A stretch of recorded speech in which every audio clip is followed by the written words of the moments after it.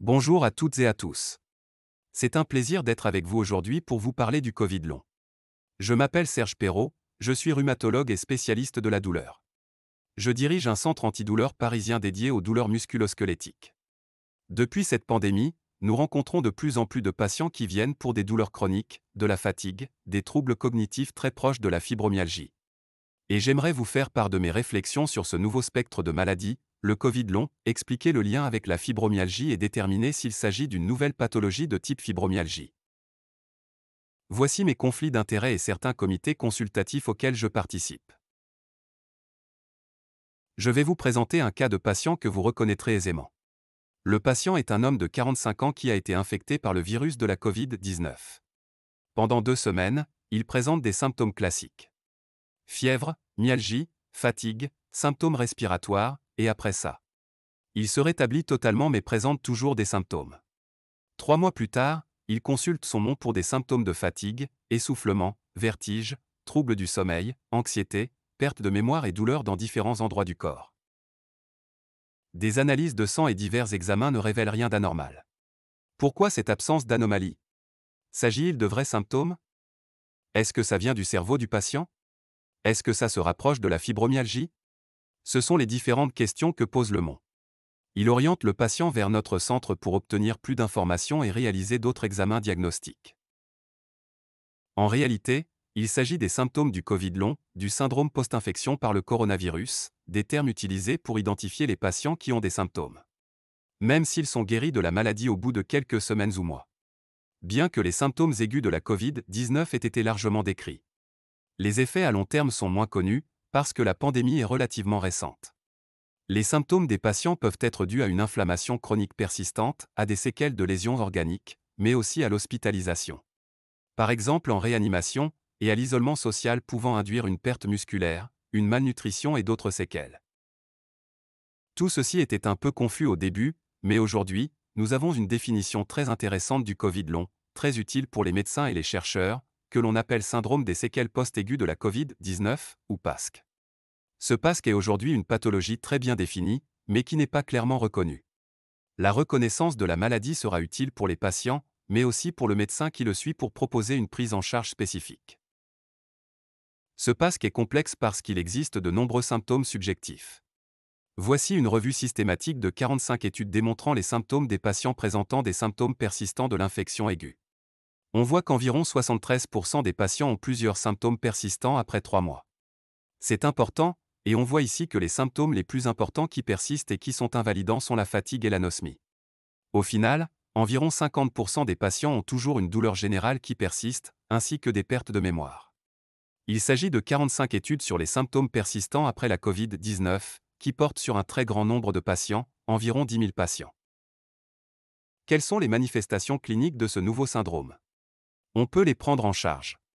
Au niveau cérébral, on parle de brouillard cérébral, de vertige, d'anxiété, de dépression, d'insomnie et de céphalée, mais il peut aussi y avoir d'autres zones impliquées. Des crampes abdominales, des diarrhées, des douleurs thoraciques, une dyspnée, une arthralgie, une faiblesse générale, ainsi que, dans certains cas, une anosmie et une dysgeusie persistante. C'est un syndrome complexe, parce que le patient doit voir de nombreux spécialistes et que la coordination des soins est difficile. Il y a de nombreuses manifestations cliniques. Quelle est la fréquence des manifestations? La fatigue semble être le symptôme le plus fréquent. Avec plus de 30% de patients présentant une fatigue sévère, avec un impact important sur la vie quotidienne, mais aussi une anxiété, des troubles du sommeil, des céphalées, des troubles de la mémoire et de la concentration, et dans environ 15% des cas, des myalgies, qui peuvent aussi perturber la vie quotidienne. Ces symptômes persistent jusqu'à 9 mois, mais puisque la pandémie est très récente, nous n'avons pas un suivi très long de ce patient. Le plus long suivi des patients dans les études publiées est d'un an, avec fatigue, perte du goût, dyspnée, tous ces symptômes primitifs qui s'associent aux autres symptômes qui apparaissent non pas au début de la maladie, mais après quelques semaines. La myalgie, l'arthralgie, les douleurs thoraciques et les maux de gorge, tous ces symptômes surviennent au cours de l'évolution du patient, même après l'infection aiguë à la COVID-19, et ces symptômes supplémentaires peuvent être sévères dans certains cas comme la douleur, les myalgies et les difficultés de concentration. Dans ces nouveaux symptômes, ce nouveau syndrome, le PASC, citons la douleur, la fatigue, les pertes de mémoire, les troubles cognitifs, les troubles du sommeil. qui constituent l'ensemble des causes de ce syndrome. Ce tableau est très proche de celui que l'on observe dans la fibromyalgie et le syndrome de fatigue chronique. Mais dans le PASC, ce sont la dyspnée et l'essoufflement qui prévalent, probablement en raison de l'infection virale initiale. L'incapacité à faire un effort physique et des mouvements, la fatigue à l'effort sont des symptômes prévalents et plus sévères que dans la fibromyalgie. Une dysautonomie est observée plus fréquemment que dans la fibromyalgie.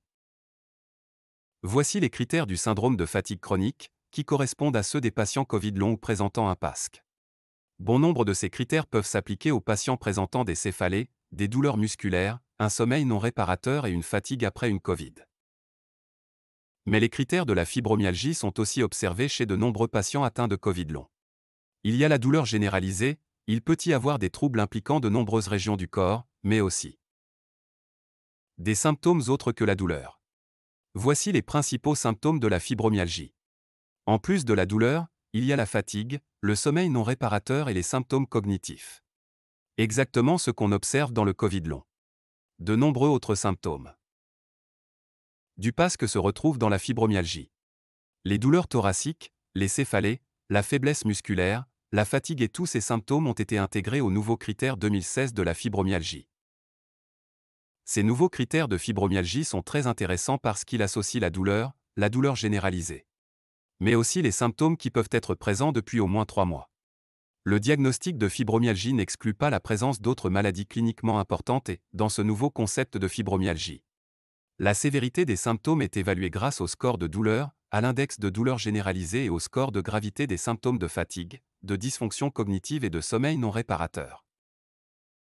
Cela permet de calculer le score et d'évaluer le potentiel d'un diagnostic de fibromyalgie. Les patients atteints d'un Covid long ou d'un PASC ont des symptômes de fibromyalgie avec un score de 0 à 31. Au décours de la maladie, ils peuvent développer les symptômes de fibromyalgie que l'on essaiera de traiter pour les guérir de cette maladie très grave qu'est la Covid-19 dans ces cas-là.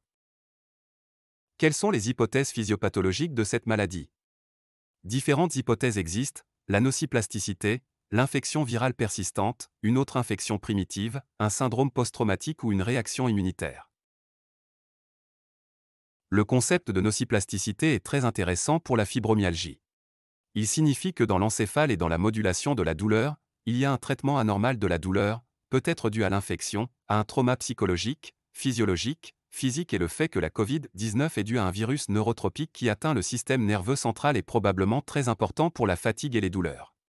Il y a certainement une inflammation du système nerveux central déclenchée par le virus, et qui peut entraîner une neuroplasticité en cas de Covid long.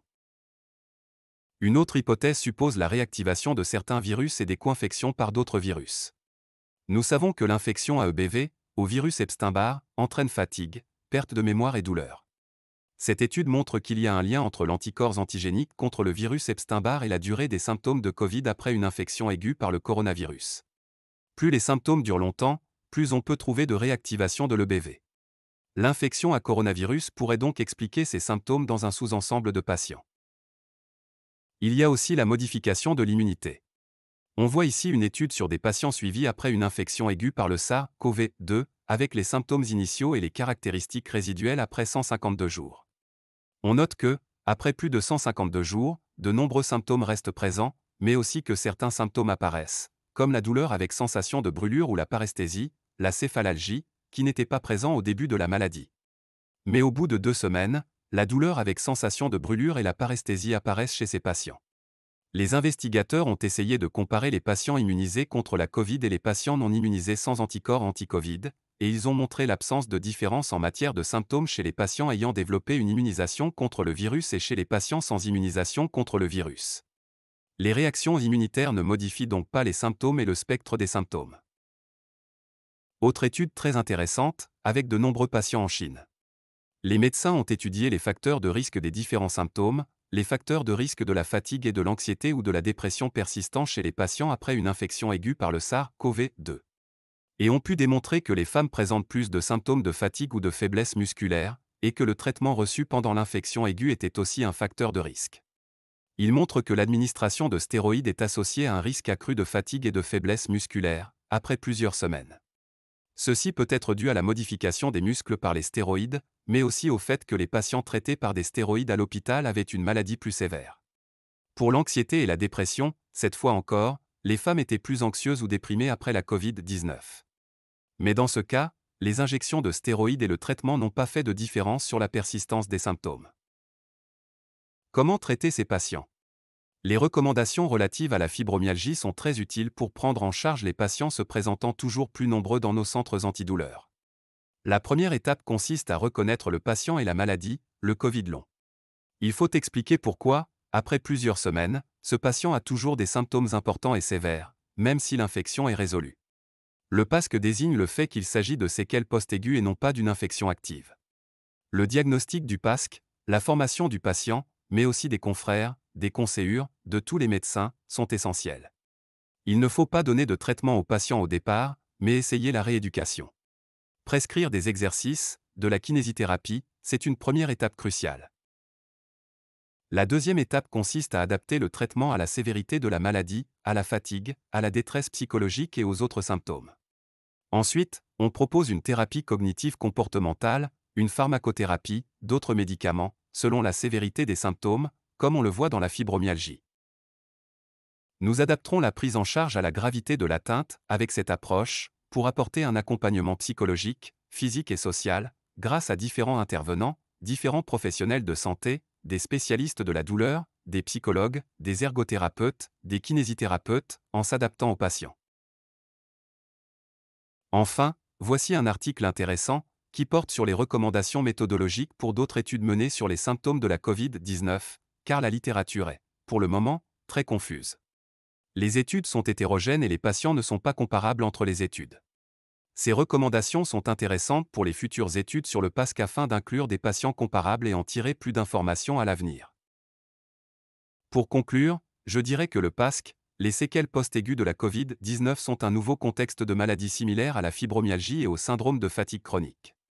On doit les considérer de la même manière qu'un syndrome, qui n'est pas lié à une maladie active, une maladie sous-jacente, mais qui est plutôt un ensemble de séquelles réelles, que l'on doit reconnaître. Face à ces symptômes, il faut rassurer le patient, lui dire qu'il va se rétablir, qu'on ne sait pas quand ni combien de temps cela prendra, mais qu'il va se rétablir à l'aide d'une approche multidisciplinaire au long cours, adaptée à la gravité des symptômes. Enfin, plus récemment, nous découvrons que, après la vaccination, certains patients ont un syndrome de type PASC, probablement rare, mais qui doit être pris en compte. Certains patients présentent, après les vaccins, des douleurs, une fatigue, des symptômes au long cours proches d'un Covid long. Ce n'est pas terminé, et c'est un sujet passionnant. Mais en très peu de temps, nous en avons beaucoup appris sur cette nouvelle maladie, sur les patients, sur leur prise en charge, et je pense que dans les futures études, nous devrons apporter plus d'aide aux patients, mieux les soutenir, être plus efficaces. Je vous remercie de votre attention et je suis prêt à répondre à vos questions.